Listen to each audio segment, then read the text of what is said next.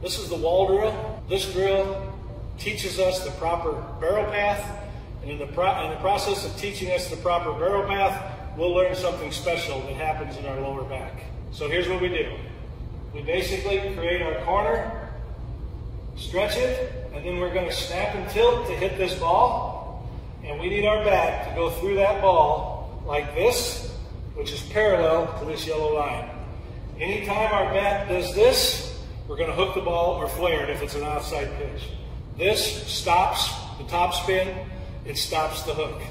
It also teaches you how to launch the barrel.